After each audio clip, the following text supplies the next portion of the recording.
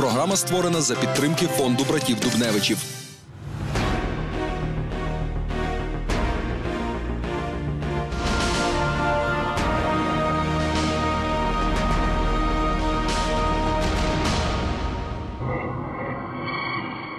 Приблизно 6 мільйонів євреїв у Європі стали жертвами Голокосту.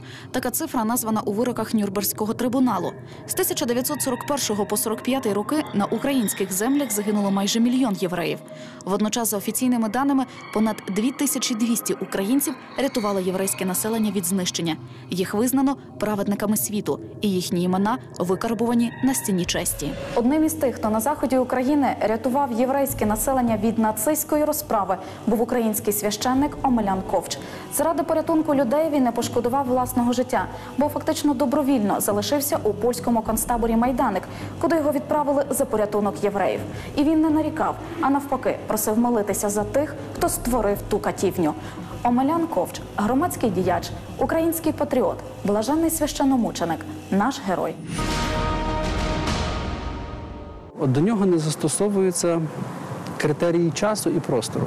От що цікаво, оце є святість, яка дійсно от, вона відображає е, вічність в собі. Е, різні режими, польський, радянський, німецький і так далі, та сама дія. Те саме служіння таке, ну, ну практично не щадя живота свого, знаєте. Причому е, в даній ситуації живі це не просто його особисте життя, це життя його дітей, яких ціла купа. Це, це фактично життя всілої його родини. Життєвий шлях Омеляна Ковча розпочався 1884 року у Космичі на Гуцульщині. Родина священича. Священником був батько, дядьки. Цей факт та й склад характеру безумовно вплинули на те, що Омелян теж вступає на духовну стежку. Готувався до священства він у римській колегії святих Сергія і Вакха. У 1911 році був висвячений єпископом Григорієм Хомишиним і віддано трудиться на духовній ниві. Коли за рік його відправляють на душпастерську роботу у Боснію, де серед місцевих мусульман було багато українців з Галичини, він спокійно приймає це служіння. Під час Першої світової війни отець Омелян повертається в Галичину. Він, як патріот і як священнослужитель, не зміг встояти осторонь, коли українці намагалися збудувати свою державу. І у 1919 році іде капеланом до української галицької армії. Разом зі стрільцями проходить усі воєнні негаразди. Це було взагалі загальне явище, е, коли і українці йшли добровольцями в армію, і також священники йшли. Церква не була проти. Ну і е, пам'ятаємо, що коли творилося взагалі українське військо у 10 столітті в Галичині, тобто легіон українських січових стрільців, він був освячений Андреєм Шептицьким.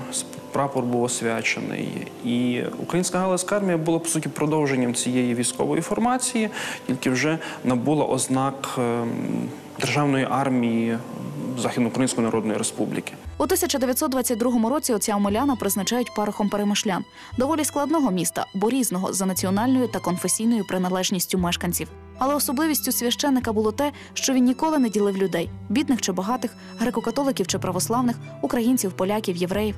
Він тихо і сумлінно працює. був організований банк, і була організована, е, значить, кооператива. І багато-багато. І була, був організований такий будинок культури з великою е, залою і сценою. Тоді ще то було, я кажу, дивина. Над тією хатою ангели кружляють. Так парафіяни говорили про скромний будинок отця Омеляна. А от тодішня польська влада була не в захваті від його проукраїнської священичої діяльності. У помешканні проводили обшуки, навіть був домашній арешт. Та отець Омелян не нарікав. І коли після приходу радянської влади дехто з парафіян хотів відімстити полякам, пограбувавши їх, парох у своїй проповіді просив поступати не по-людському, а по-божому. Ви задивилися на тих босяків, що тепер прийшли до нас. Мені соромно за вас перед Господом Богом. Коли у вас є хоч трішки патріотизму й совісті, то я прошу ще сьогодні повернути все тим людям, від яких ви забрали. Час першої радянської окупації у Перемишлянах отець Омелян Ковч на водохреще влаштував похід на річку синьо-жовтими стрічками. За такий свавільний крок він був у списках більшовиків на покарання.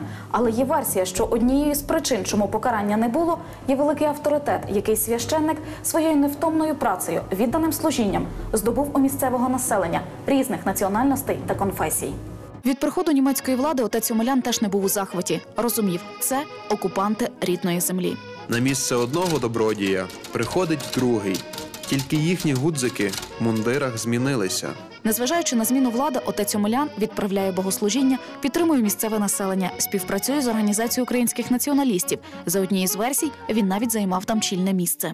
ОУН була така м, практика мати довірених осіб.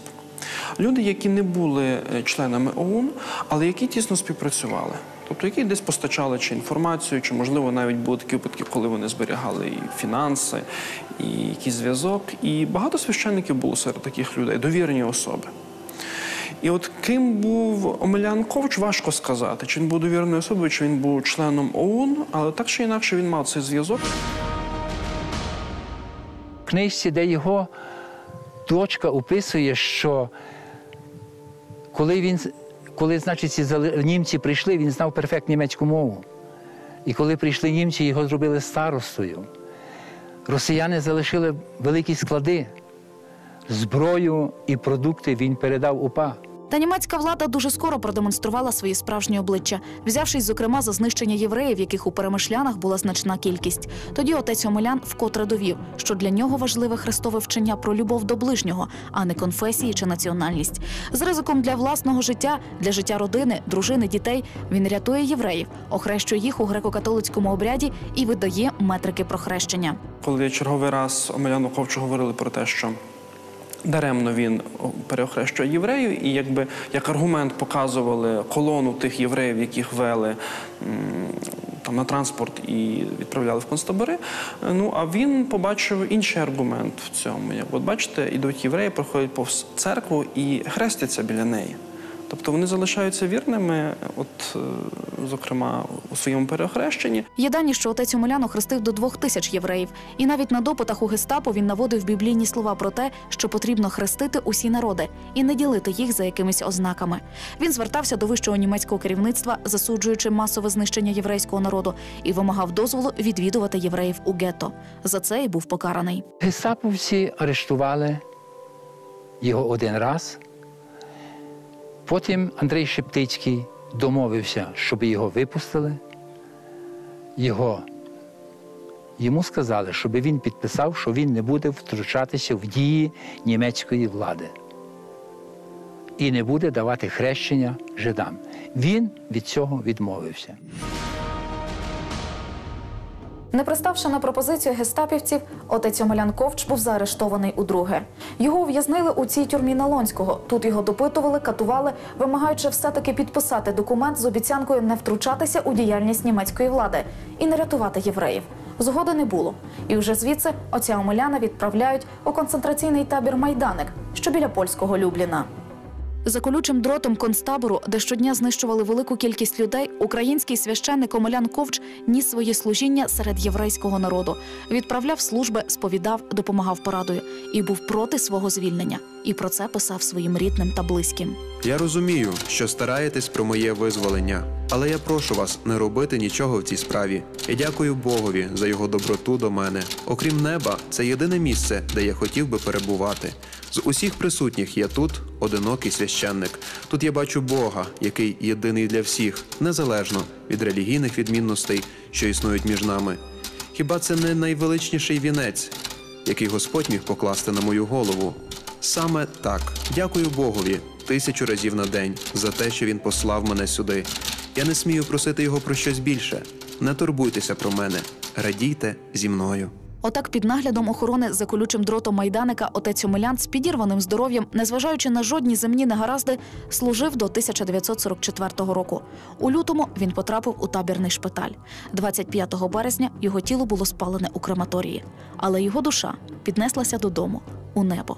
У радянські часи про отця Омеляна майже не говорили, та він ніколи й не прагнув людського визнання. Він діяв за покликом серця. В даній ситуації ми маємо до, до, до справи з, з людиною, яка, яка є ведена ідеалами жертвенного служіння. Це не від безісходу, не від безвиході чоловік серед. Не тому, що ззаді заградітельні отряди, а тому, що просто інакшого способу бути людиною в тій хвилі чоловік не знайшов. Говорячи про цей період, так в католицькому світі всі говоримо про отця Максиміліана Кольби.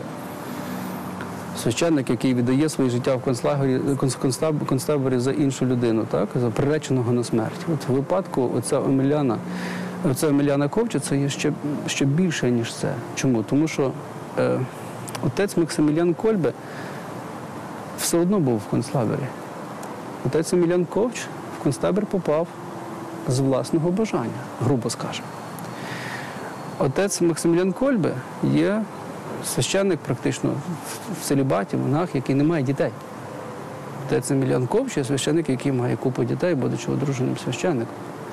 Тобто, якщо матеріально рівняти цих дві постаті, е, отець Емельян постає в набагато принадливішому світі, якщо так можна сказати. Так, бо і тут і тут дотичить до святості, і це ну, з, точки, з точки зору е, духовності це не можна порівнювати. Але з точки зору людського подвигу, це є це навіть це є не порівнювані між собою величини. Зараз існує такий стереотип, що і він в певній мірі певними силами навіть починає підсилюватись, що українці брали участь у Голокості і тому масово. Та історичні факти це заперечують. І Омелян Ковч, який от рятував е, євреїв, причому за різними е, даними від 300 до 2000 євреїв він ем, охрестив, то це власне той приклад, що українці е, не були байдужими до. Євреїв, які поколіннями також жили на цій землі. Але Омелян Ковч, його постать, його діяльність засвідчує, що ем, власне ці народи не були, не залишалися своїми проблемами ем, наодинці.